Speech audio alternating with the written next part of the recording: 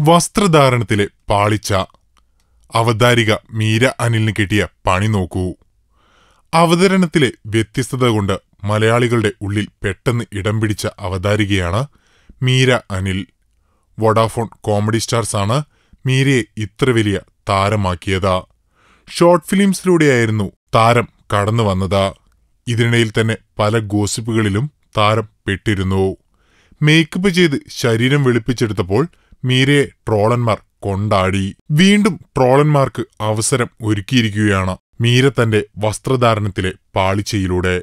Queen two thousand seventeen എന്ന പരിപാടിയിൽ താരമിട്ട വസ്ത്രം യുവാക്കളുടെ കണ്ണിടിപ്പിക്കുന്ന രീതിയിലായിരുന്നു.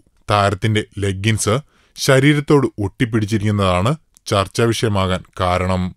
ഈ ചിത്രങ്ങൾ കണ്ട് നിങ്ങളുടെ കൺട്രോൾ പോവാതിരിക്കട്ടെ.